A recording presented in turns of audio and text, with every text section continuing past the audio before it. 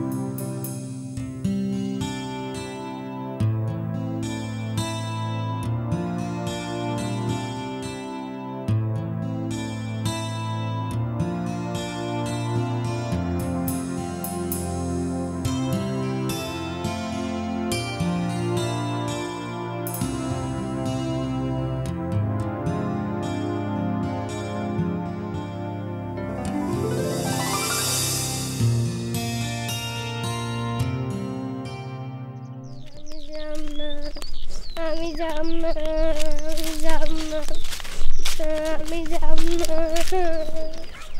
সালাম আলাইকুম। ওয়ালাইকুম আসসালাম। কি হয়েছে বাবা? নাম কি তোমার? ক। নাম ক। নাম কি তোমার? বুঝ না কেন ক। আহা ওকে ছেড়ে দিন। ছেড়ে দিন। নাম কি তোমার? বলবে না? আচ্ছা ঠিক আছে। তোমার বলতে হবে না। পরে বলো নাম কবি না কেন? নাম ক। কিচ্ছু খাব না আমি বাড়ির যাব বাড়ি যাবি মানে? মামা বাড়ি আপনার নাকি? দরকার হলে হাত পা বাইন্দা কিনা ধুয়ে যাব। আহা ওকে ধমকাবেন না। ধমকালে আরও বেশি ভয় পাবে। জড়াজড়ি না করে বরং আজকে বাড়ি নিয়ে যান। কোন কি? আপনারা মাস্টাররা যদি বলা এভাবে লাই দেন তাহলে তোরা মাথায় উঠে পাইবো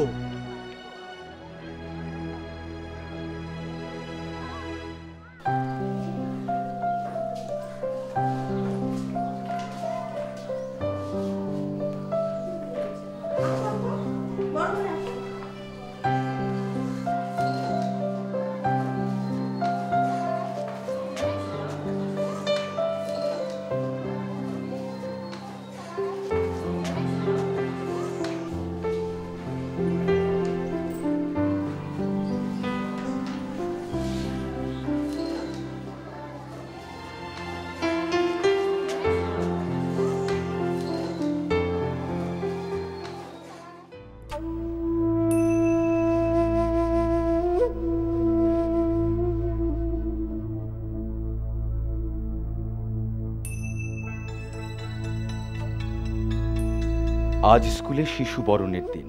এই উৎসব মুখর ও আনন্দময় পরিবেশে এসেও কেন কিরণ কুসুমের মতো স্কুলের প্রতি আগ্রহী হলো না? চলুন, এর কারণগুলো জানার চেষ্টা করি।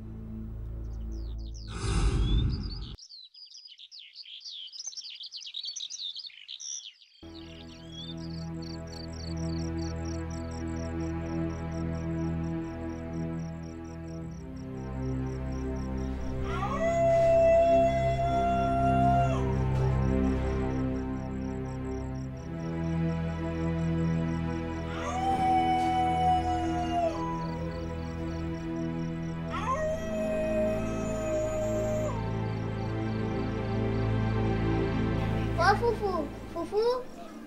কি হয়েছে ফুফু শিয়ালের বাচ্চা কই থাকে গো? শিয়ালের বাচ্চা যেইখানে খুশি সেইখানে থাক। তাতে তোর অসুবিধা কি? মানে শিয়াল। আবার শিয়াল? বেশি কথা না কয়ে চুপ করে বসে থাক। এইটা তুমি ঠিক করলে না রানু। তোমাকে তো কিরণের প্রশ্নের উত্তর দিতে হবে। ওর সাথে কথা বলতে হবে। না হলে ও জানবে শিখবে কীভাবে? এত কথা শোনার সময় কই গো? কিন্তু তোমাকে তো ওর প্রশ্নের উত্তর দিতে হবে। এই বয়সের বাচ্চাদের মনে অনেক কথা থাকে অনেক প্রশ্ন থাকে। ওরা অনেক কিছু জানতে চায় বুঝতে চায়। পরিবারের সদস্য হিসাবে ওকে তো তোমার সময় দেওয়া দরকার। আসল কাজ করার সময় নাই এইসব অকাজের সময় কই গো? এইটা অকাজের কথা না কাজেরই কথা।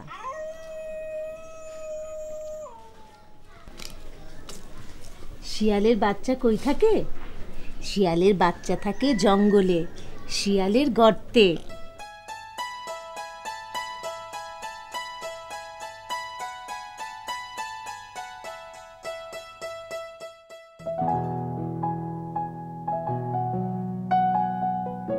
দাদি আজকে আমি একটা ছড়া শুনব। ও আজকে আমার বুবু ছড়া শুনবে? ছোটবেলা থেকে তো তোমাকে আমি কত গল্প ছড়া শোনালাম। আজকে কোন ছড়াটা শুনবে? ওই যে কাঠবিড়ালি। কাঠবিড়ালি কাঠবিড়ালি। পেয়ারা তুমি খাও। দাদি আমার পেয়ারা গাছটা তো বড় হয়েছে। তোমার পেয়ারা গাছটা কত বড় হয়েছে? এত বড় হয়েছে। আচ্ছা দাদি কাঠবিড়ালি এসে আমার কাছে সব পেয়ারা খেয়ে ফেলবে নাকি? তুমি কি কাঠবিড়ালিকে পেয়ারা খেতে দিবা? একটা দিব।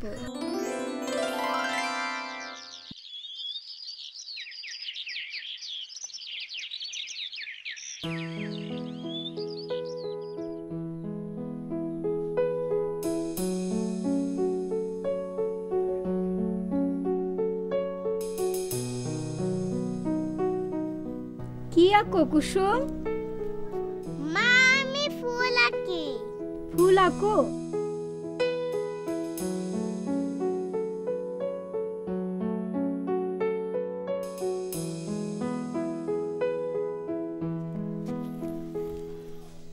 বাহ খুব সুন্দর। চলো আমার সাথে চলো।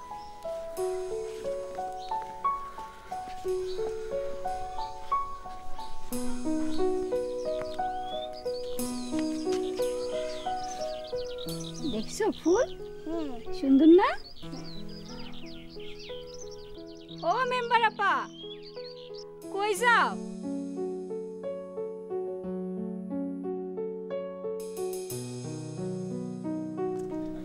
সুমন গো বাড়িতে যাই। সুমনের বউটা পোয়াতি। শাশুড়ি বউটারে দিয়ে ভারী কাজ করায়। সুমন বোঝে ব্যাপারটা ঠিক না কিন্তু মায়েরে বুঝাইতে পারে না। এদিকে আবার ইউনিয়ন পরিষদে একটা মিটিং আছে। তোমারে অনেক ঝামেলা মিটাইতে হয় না? হ ঝামেলা মিটানোর জন্যই তো মেম্বার হয়েছি কিন্তু এখন তোমারে দেখে খুব ভালো লাগতেছে। আমি আবার কি করলাম? তুমি কি সুন্দর মায়ের দায়িত্ব পালন করতেছো? কুসুমরে কত কিছু শিখাইতেছো? তুমি ওরে গ্রামের প্রি স্কুলে দাও। ওইখানেও বাচ্চাদের সাথে মেলামেশা করতে পারব। অনেক কিছু শিখতে পারব। হ আমরাও চিন্তা করছি। কুসুমরে আমরা প্রি স্কুলে দিব আমি এই কথাটাই মতির মা, কিরণের মা, রানীর মা সবাইরে বলি। বাচ্চারে প্রি স্কুলে দাও। ওইখানে গেলে ও অনেক কিছু শিখতে পারব। যাই, আমার আবার দেরি হয়ে যাইতেছে। আসি।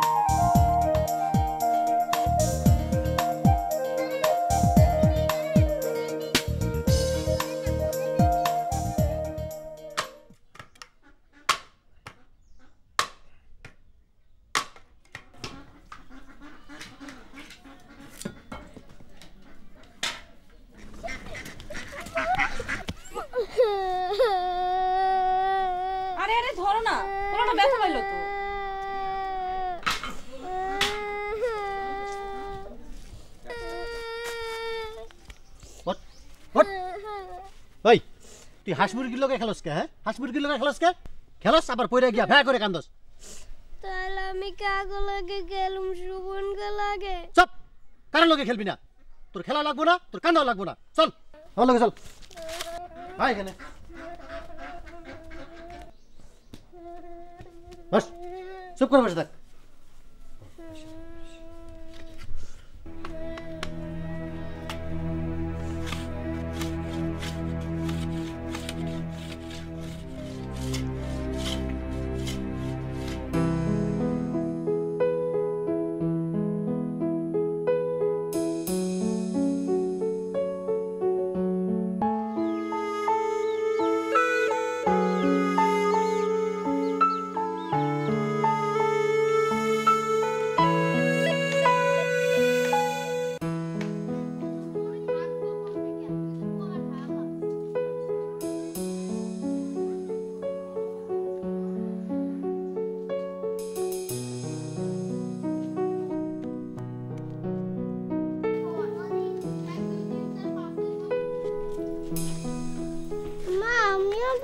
স্কুলে যাব। এই তো আর একটু বড় হইলেই যাব, ঠিক আছে? লোক।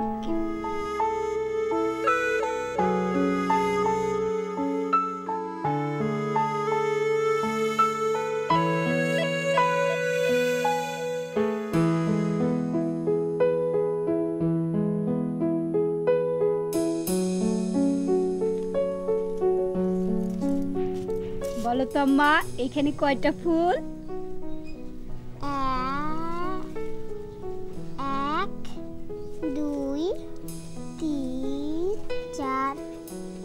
পাঁচ ছয় বাবা আমার কুসুম তো অনেক কিছু পারে।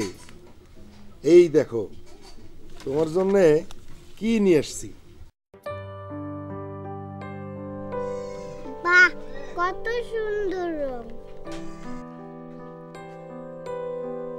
ও করিম ভাই। আরে তোমরা তো দেখি তোদের মাই আডারে শিক্ষিত করার লাইগা উইটা বইরা লাগছো। বিষয়টা কি? আমার কুসুমের বয়স ছয় বছর হতে চলল। ও তো এতদিন প্রি স্কুলে গেছে। এবার ওরে প্রাইমারি স্কুলে পাঠানোর চিন্তা ভাবনা করতে হইব না। তোমার কিরণ রে স্কুলে পাঠানোর চিন্তা ভাবনা করতেছো তো নাকি? ওর বয়স তো ছয় বছর হতে চলল। আমি তো পাগল না মাথাও খারাপ না। এই বয়সে ওর মাথাটা খারাপ করতে চাই না।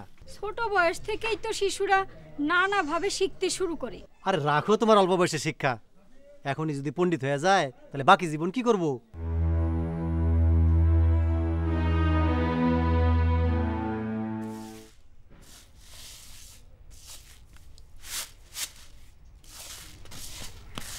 আসো আসো। দাদি আমি শাওনার ময়নার সাথে খেলতে যাই। আচ্ছা তোমরা সবাই মিল্লামিশা খেললো।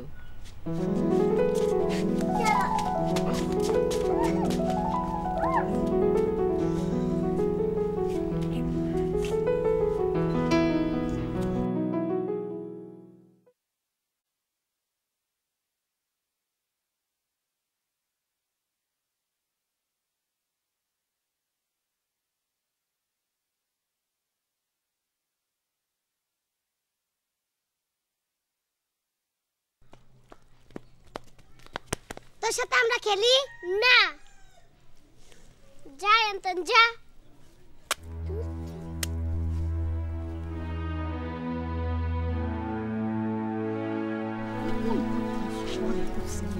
আরে কিরণ না? ওই কিরণ। বাবা একটু শোনো তো। শোনো। হাই হাই হাই এইটা কেমন ফুল রে বাবা। আসলে দোষটা ওর না। ওর বাবা মা তো ছোটবেলা থেকে ওরে কারোর সাথে খেলতে দেয় নাই মিশতে দেয় নাই। পাড়ার প্রি স্কুলেও দিল না। আমি তো পাড়ার প্রি স্কুল কমিটিরও একজন মেম্বার। আর দেখেন রাহিলা ভাবি আর করিম ভাইয়ের মেয়ে কুসুম কি সুন্দর গুছায় কথা বলে। সবার সাথে মিলেমিশে থাকে। পাড়ার প্রি স্কুলে যায়। সবর ভাই শুনেন। কোন? ভাই আপনার পোলা তো কারোর লাগে মিশে না খেলে না। কেউ কিছু কইলে ঝগড়া করতে তেরে আসে। বলা পাইনের তো মিলমিশ ভালো না। আপনার এই কথাটা ঠিক না। শোনেন আপনারে কতবার বলেছি বাচ্চারে অন্য বাচ্চাদের সাথে খেলতে দেন। ওরে প্রি স্কুলে পাঠান। তখন যদি ওরে প্রি স্কুলে পাঠাইতেন তাহলে সে এখন অনেক কিছু শিখতে পারত। তাহলে কি এমন লাভ হইতো? সবুর ভাই আপনাকে বিষয়টা বুঝতে হবে। বাচ্চারা অন্য বাচ্চাদের সাথে মেলামেশা করলে খেলাধুলা করলে প্রি স্কুলে গেলে সব রকম মানুষের সাথে মিশতে শেখে গুছিয়ে কথা বলতে পারে বড়দের সম্মান করতে শেখে।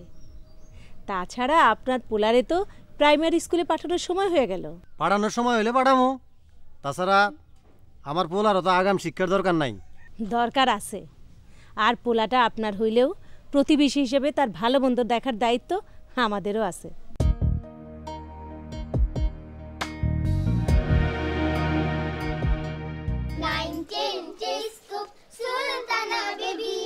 সাহেব বাবুর সাহেব বলেছেন যেতে কাঞ্চু বাড়ি খেতে পানির আগায় মরিচ বাটা স্ক্রিনে ছবি আঁকা। যার নাম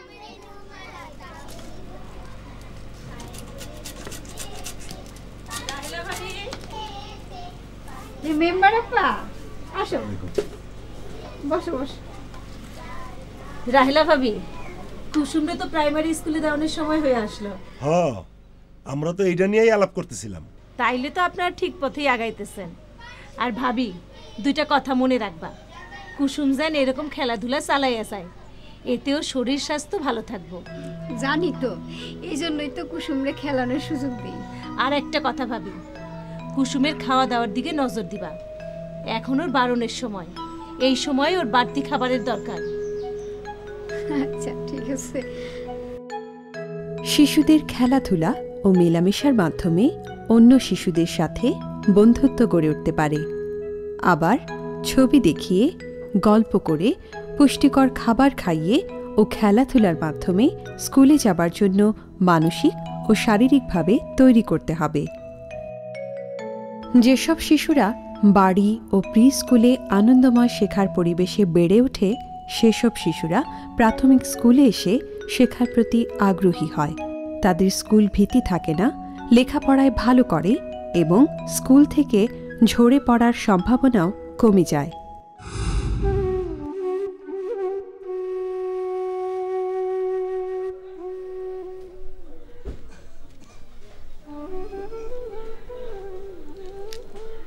তোমার খাম খেয়ালির জন্য আমাকে পোলাটা স্কুলে গেল না। ও। তুই ঠিকই কইছ। আমি হইলাম এই গ্রামের সবচেয়ে বোকা মানুষ। সেই জন্য আমার জীবনেও কিছু হইল না। আর আমার পোলাটার জীবনেও কিছু হবে না। কে বলল? আপনার বাচ্চার জীবনে কিছু হবে না? এখনও সময় আছে। রাহেলা ভাবি আর করিম ভাইয়ের মতো বাচ্চার যত্ন নেন। তারে সময় দেন। তারে খেলাধুলা করার সুযোগ দেন। আপনার বাচ্চার ভবিষ্যৎও খুব ভালো হইব।